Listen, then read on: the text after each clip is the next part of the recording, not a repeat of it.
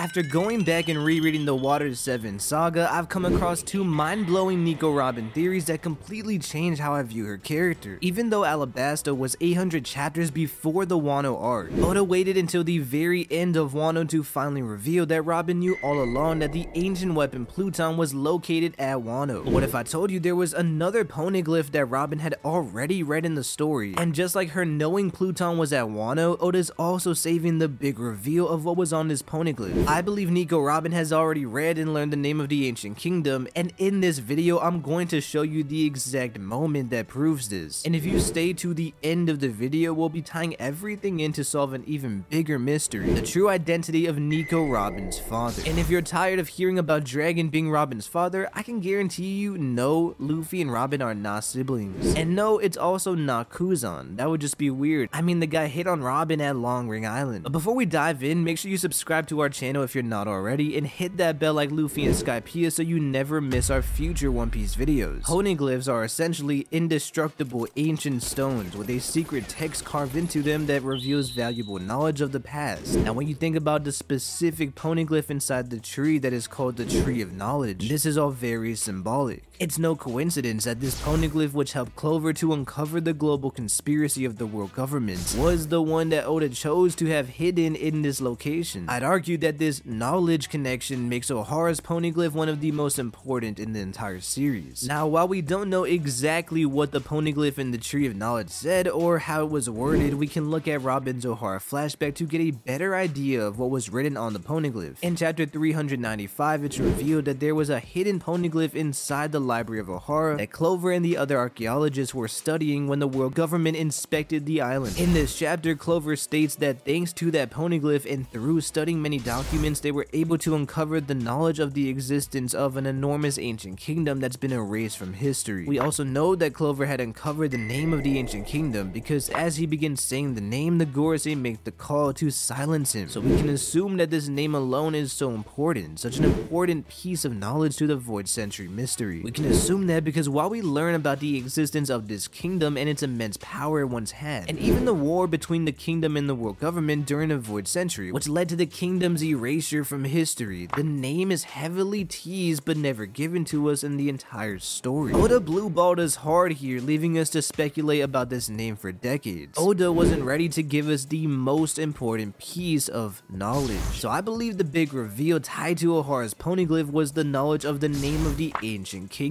I believe this poneglyph spoke about the great futuristic empire that once existed. Now you may be wondering, what does Nico Robin have to do with all this? Well, if you remember back to the Ohara flashback in chapter 392, Clover confirms that Nico Robin used her devil fruit powers to spy into the library's basement where they researched the poneglyph. Robin reveals that she's learned about the Void Century and it's her goal to solve this mystery. And Robin has shown us many times in the One Piece story that her devil fruit, the Hana Hana no Mi, is a great tool for spying and useful for stealthful missions, as you might recently remember with the Gisho Robin spy mission during Wano. And one of Robin's personality traits is being nosy, mischievous, and eavesdropping, accruing information without anyone finding out. And this is all thanks to her devil fruit. In chapter 325, Robin admits to Chopper that this is a habit she has had since a little girl. She uses this while walking through Water 7 to pick up on valuable information without anyone noticing. And how does she get away with this? Well, it's because Nico Robin has the ability to sprout an ear or an eye within a certain distance of herself. For example, Oda shows us an example of this in chapter 486 in the aftermath of Zoro's nothing happened moments, where we get a scene where Sanji presses the Risky brothers privately to find out what happened between Zoro and Kuma while the Straw Hats were knocked out. And while they explain everything to Sanji, Nico Robin sprouts an ear nearby to eavesdrop on this conversation and find out the truth, without anyone noticing her. She's very sneaky, and I think it's safe to say that the woman is even nosier than Usopp. Anyways, I think you see my point in bringing this all up. Robin admits to Chopper that this habit comes from when she's a kid, and that's an exact reference to what we see with Clover and Robin speaking of this in chapter 392 as she now exposes herself for spying on their poneglyph studies. It's safe to say this was exactly how Nico Robin learned how to read poneglyphs in the first place, as poneglyph research was just as dangerous and illegal as the research of the Void Century since they go hand in hand. A few chapters later in chapter 395, Robin even reveals to her mother that she's mastered the ability to read the poneglyphs, and even Clover is surprised by this because Robin never told her this and because he assumed that she couldn't since she's only a young child. And later on in Robin's flashback, we get a montage in chapter 398, which shows us various moments of her life after Ohara. And there's one panel that confirms Robin's ability to read poneglyphs because she finds one and says, I found it, a poneglyph implying that she could read them. But this brings up a bigger question of how did Nico Robin master the ability to read a poneglyph at such a young age? And why was she so confident in her abilities to announce this to her mother? This all implies that in order to prove to herself that she could decipher the ancient language, Nico Robin would need some sort of final test. And as we know, Clover wasn't going to be the one to allow her or teach her to read the poneglyph language because it was too dangerous for a child. So instead, it's heavily implied that Robin used the Ohara poneglyph as the final test to prove to herself that she could read them and achieve her dream one day of solving the Void Century. So Robin one day when no one's noticing uses her devil fruit powers to read her first poneglyph ever, which was the same poneglyph that reveals the name of the ancient kingdom. Now the question is, does Nico Robin still remember what was written on that poneglyph all those years ago? I mean, it was her first poneglyph, she was only 8 years old, and it was the first time deciphering the language. And then you add in the fact that Vegapunk telling the story of Ohara and the entire incident makes her cry. So it's very possible that through her trauma, she's blocked out many of the memories from her childhood and even this moment of reading her very first poneglyph. And if that's true, then she probably eventually forgot about what was exactly written. But on the other hand, Nico Robin may hold the ancient kingdom's name in the depths of her mind, as this was a very special moment for her dream. And so without Oda directly telling us, he may have already given us the clues to realize that Robin already knows the same name that Clover knew. Now, I wonder if the name of the ancient kingdom was ever written down by the scholars on the document after being deciphered straight from the poneglyph. If the archaeologists were studying the poneglyphs and creating their own documents filled with theories, you could assume that they maybe threw out a book into the lake with theories like the name of the ancient kingdom. And maybe in this book they even have more answers to other One Piece mysteries of the Void Century. A document full of Clover's many crazy theories which Vegapunk could have also ended up reading. And even if this isn't the case, Vegapunk came to many of the same conclusions as Clover, which means that Vegapunk may also know the name of the ancient kingdom. And now this brings up many different questions. First, does that mean that Dante Vegapunk can read the poneglyphs? I mean, he was researching the same things that the Oharans were that allowed them to learn how to read. But more importantly, I'm sure you've all been wondering, what is the name of the ancient kingdom? I believe the ancient kingdom is a direct parallel to the ancient kingdom of Mu, which was an empire that worshipped the sun. We've made multiple videos on this already, so I'll leave them in the description, but essentially this makes me believe that the name of the ancient kingdom in One Piece could be Mu, or if not straight up Mu as that could be too obvious, something relating to the sun. Something like Dawn Kingdom, Sun Kingdom, or another cool word that ties the word sun into it in some way. I mean, Lily even wrote in her letter to raise the flag that heralds the dawn, and with the sun representing freedom, hope, warmth, and joy with Luffy as the sun god Nika, we can definitely see how the mysteries of the Void Century are starting to all come together. Going back to that poneglyph from Ohara, I wonder where is it now? Even the Buster Call wouldn't be enough to destroy it, so I think the Gorosei and the world government probably have it. Why would they not seize it during this event? We know the world government is intrigued with the idea of resurrecting the ancient weapons from the Water 7 saga, and if you look at Mother Flame, this really does resemble an ancient weapon. So it would make sense that over the years, the world government has gotten their hands on a few poneglyphs. But if they don't have the Oharan poneglyph, I would also assume that maybe it's at Elbaf or maybe with Monkey D. Dragon. Alright, so everything up to this point is very believable and logical, but now let's get crazy and have some fun here. These next few ideas are definitely out there, but let's put our tinfoil hats on and see if we can solve the many strange mysteries surrounding Nico Robin's parents. But first, if you enjoyed this video so far, make sure you like the video. Our goal is 5,000 likes, and if we reach it, I'll let you guys pick the next video on this channel. First, going back into Nico Robin's backstory, one thing that I always wanted to find out during her flashback was how she received her devil fruits. We've never seen the moment that Nico Robin ate it, and I always found it a bit strange that we didn't see it. Instead, from the very beginning of her flashback, Robin has already ate the fruit. In our podcast, I told Dak Sake about how I believe that Nico Robin snuck into the library, read the poneglyphs, and knows the name of the ancient kingdom. And he brought up something very interesting. He says he loves how she had the perfect fruit for this, where she was really the only person who could pull this off even at her young age. But then this got me thinking, is this simply Robin's fate, or what if Olivia originally planned to eat Robin's fruit, which would help her evade the world government and acquire top secret information much easier? But instead, Robin ate it as a child similar to what we've seen with Luffy or Yamato. It could have been an accident? Or what if Nico Olivia intentionally left this fruit for Robin and intended for her to eat it so that Robin could achieve this feat with her powers when she was gone? I mean, we can see how proud and how happy Robin's mother is when Robin reveals that she can read the poneglyphs. I get that it's an incredible feat for her daughter carrying on the will of the scholars, but in chapter 392,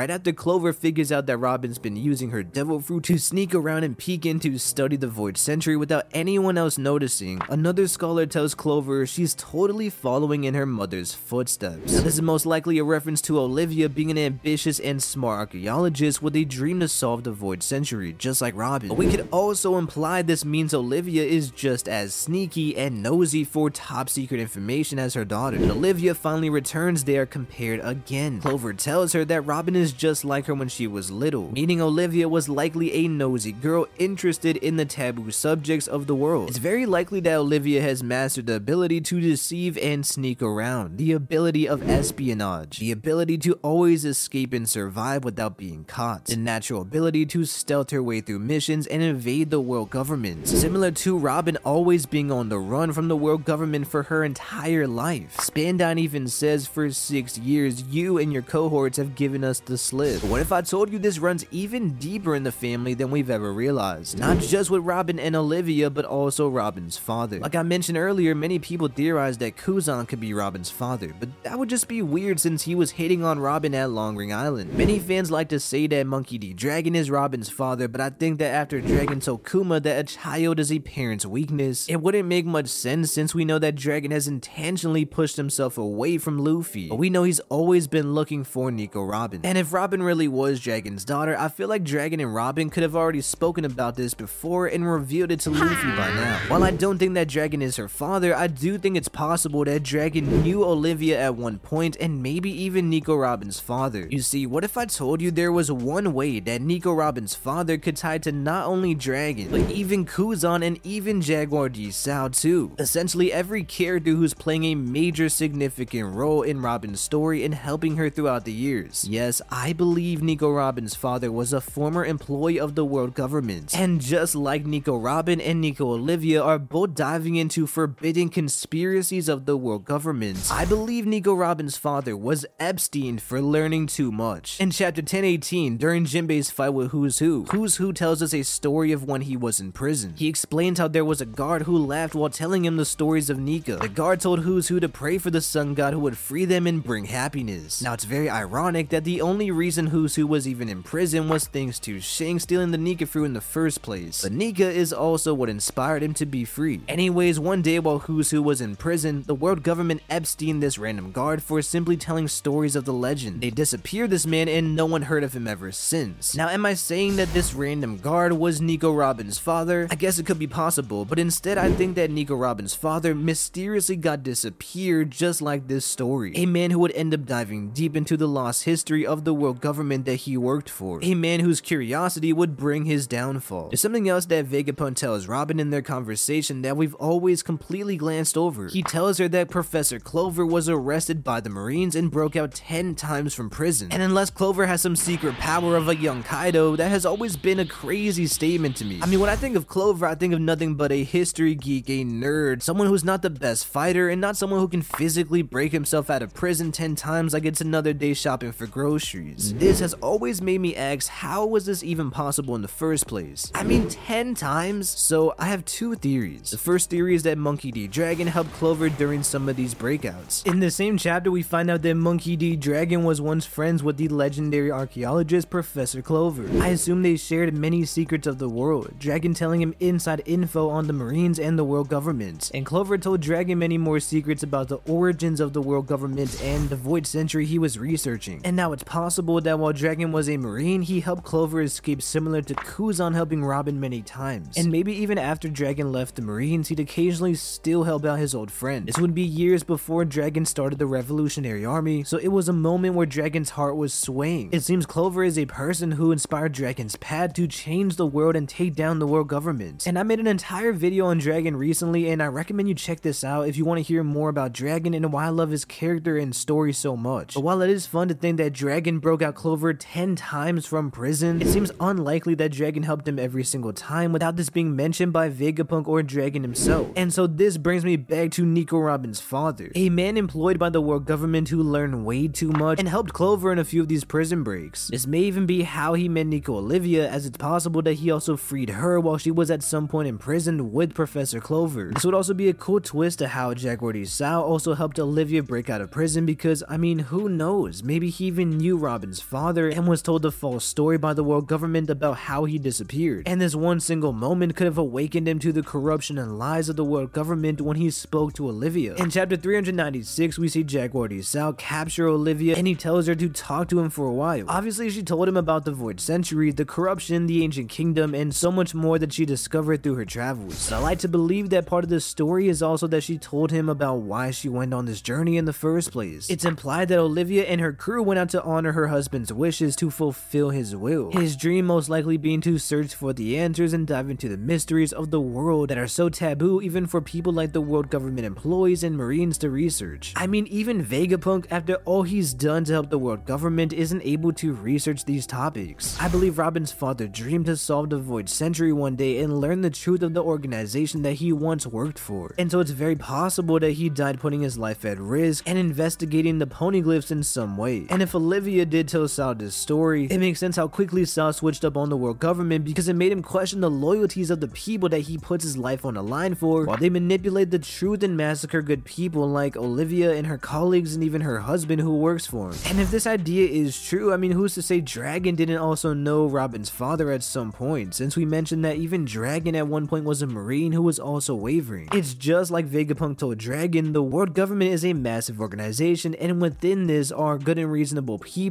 Of course we can assume he's talking about Garp here, Dragon's father, but Robin's father would also fit in this narrative that Dragon and Vegapunk both believe. Dragon once said that he could find justice within the Marines, so that's why he left. And a conspiracy like Nico Robin's father would be a huge way to piss off someone like Dragon. And adding to this, it would be interesting if the end of Robin's father was the incident that made many of the other Marines and other world government employees first start to question everything, like Saul, Kuzan, and Dragon even before the Ohara incident. I don't know how much weight you want to put into using One Piece magazines as evidence, but in One Piece magazine 9 it was stated that Nico Robin's father was a great historian, a man who read poneglyphs and was killed by the world government, which does align with my theory about him being disappeared by the world government. And this all brings me to one of the single most confusing and mysterious moments of the Ohara flashback that to this day has never been really answered or explained fully. During the flashbacks in chapter 395, there's a scene right after the Buster call where Spandine says, bring that woman, there's one piece of information only she knows. We cannot have her die here. And he's referring to Nico Olivia. You see, Nico Olivia was specifically chosen and ordered to be kept alive. Not Clover, not Saul, and this order most likely came from the Gorosei. Even though they're wiping out all of Ohara, the one person they want alive was Nico Olivia, which always raised so many questions in my mind. Why Olivia? What makes her so important and special? What does she know that none of the other people know? How could she specifically help the world government? And at first I thought it might be because they wanted to use her ability to read the poneglyphs so that they could locate the ancient weapons. But then I quickly realized that doesn't make sense because there's plenty of other people who could definitely read the poneglyphs and they could have easily enslaved these other archaeologists. This made me think that there has to be something much deeper than this, something so much more specific to only her character. And that's why I began to think it could be something to do with Nico Robin's father. What if Nico Robin's father acquired a poneglyph that the world government specifically wanted, and he hid the poneglyph in a perfect place before he was deleted? What if Nico Robin's father had information that could help the Gorosei access an ancient weapon like Pluton or Uranus? Or maybe he had dirt that could expose even with the Gorosei and he had this in some kind of book or notebook and they want to erase that. And so the reason they want to keep Nico Olivia alive is to interrogate her, torture, and find out the secrets that her husband left behind somewhere secret. But above all this, I think I found something even more mind-blowing that definitely blow your mind. It's clearly stated that the world government wanted Nico Olivia alive. So for years I've asked, what if she still is alive? And this next clip I'm going to show you might give you goosebumps. When the Straw Hats are exploring the Water 7 saga, we see a bunch of people wearing masks while traveling through the city. But Nami stops to focus intensely on one specific person who is alone passing by wearing a mask. Nami is staring at this mysterious person almost as if she somehow recognizes this person in an unexplainable way. Now in the manga this appears to be just a random citizen, but in the anime if you pay close attention, you'll notice some very recognizable features. First, the anime zooms in and focuses on one specific person out of all the Max citizens and we begin to notice they have white hair. And do you know who else has white hair? Of course, a character that was introduced in this same story, Nico Olivia. But it doesn't stop here, because next we get an even closer look to her face and we can notice this person has big bright blue eyes. The exact same eyes that both Robin and Nico Olivia share. That dark greenish blue pupil with a blue ring around. But even above that, the big giveaway is the iconic sharp nose that both Nico Olivia and Nico Robin have. And this can't be Nico Robin because we noticed she was with Chopper during this time. So what is the chances that during the arc that Nico Robin entered Water 7, her mom also crossed paths with her? And is she somehow working with Cypher Pol or the world government undercover? Was she instead there just to see Nico Robin for the first time? Is she working for Kuzan who was also a huge character in the nearby area during this arc? I mean maybe Kuzan saved her just like Nico Robin. You guys know what Rayleigh says, there are no coincidences in this world and with those three very recognizable facial features, I really do think this could be proof that Nico Robin's mother is somehow still alive. If you enjoyed this video, make sure to leave a